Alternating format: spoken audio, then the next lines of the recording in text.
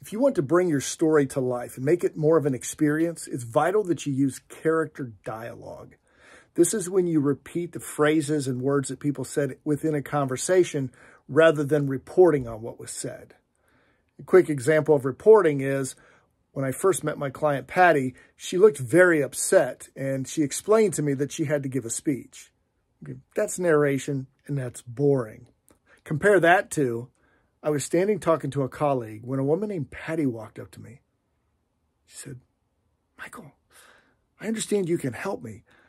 I've got this big speech to give and it is driving me nuts. I am not sleeping well. I'm so stressed out about this.